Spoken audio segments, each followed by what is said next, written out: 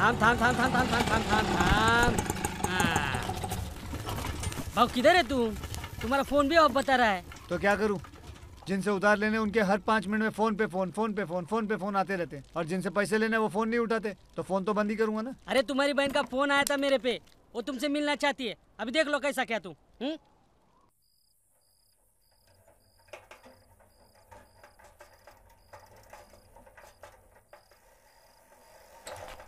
Madam है। साहब आप कौन? बोलिए उनका भाई आया है। साहब घर पर तो कोई नहीं है। मैडम और साहब दोनों किसी शादी में गए हुए हैं। कब तक लौटेंगे? देर से लौटेंगे। ठीक है। अच्छा कह देना उनका भाई आया था। ठीक है? जी ठीक है।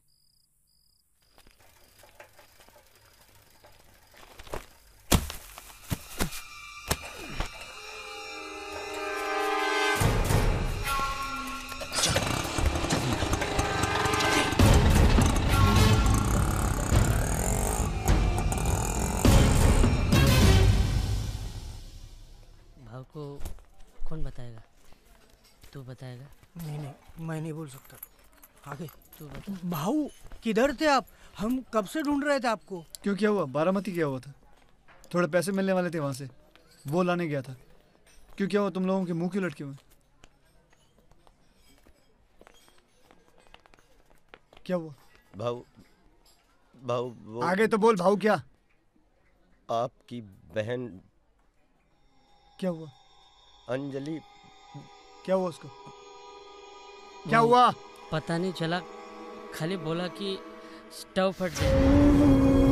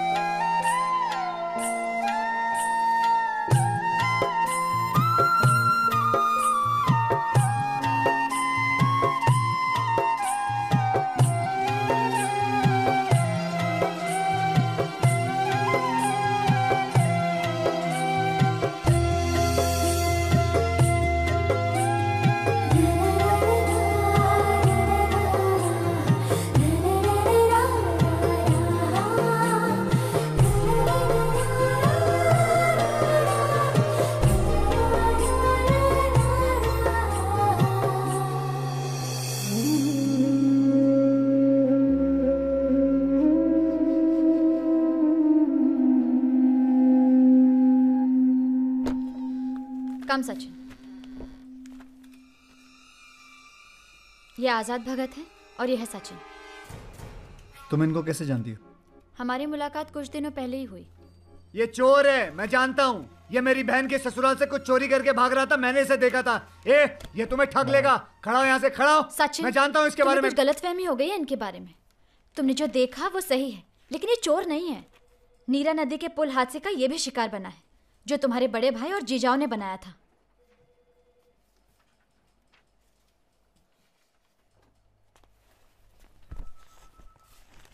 आज़ाद मुझसे मदद मांगने आए हैं। जो अत्याचार और कांड यहाँ पे हो रहे हैं उनका पर्दाफाश करने के लिए। ये देखो।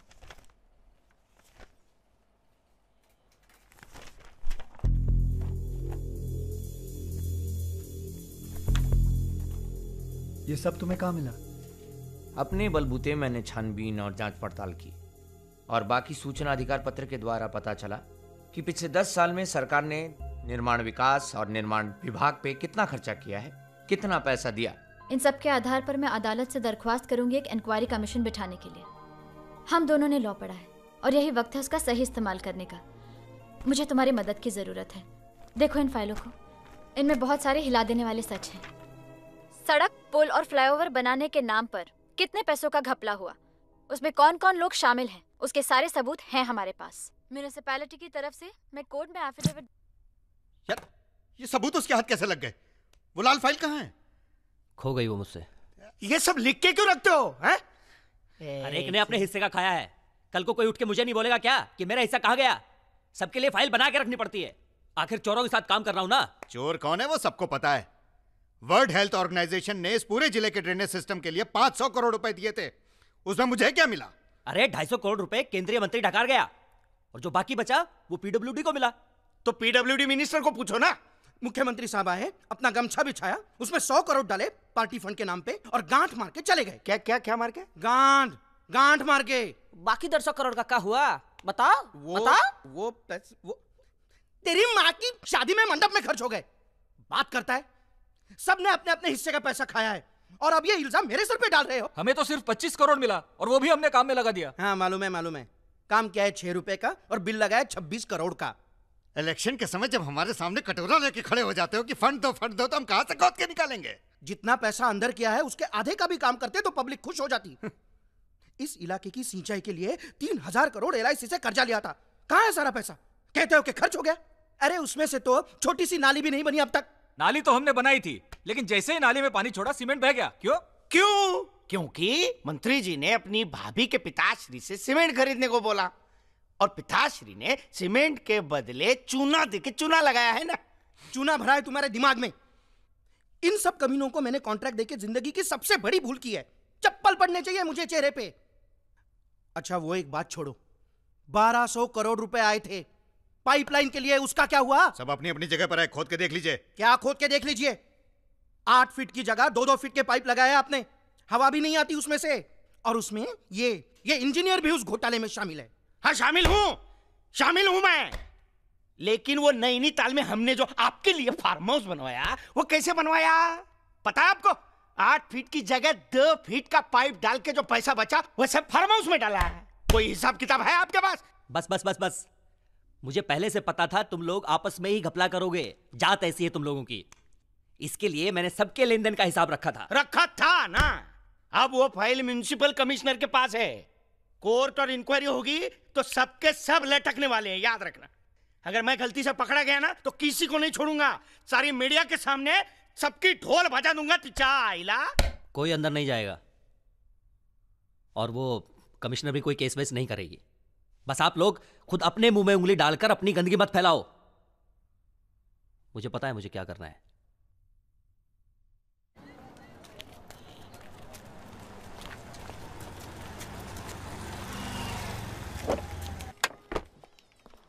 गुड मॉर्निंग मैडम ये है मैडम और ये मिस्टर देशमुख हैं। आज से आपकी कुर्सी ये संभालेंगे। लेकिन मुझे तो किसी ने नहीं बताया इस बारे वो में। मुझे कुछ नहीं मालूम। ये मेरा अपॉइंटमेंट लेटर है। आपका तबादला हो गया मैडम पता नहीं कहाँ। आपके घर पे लेटर आ जाएगा। Happy send of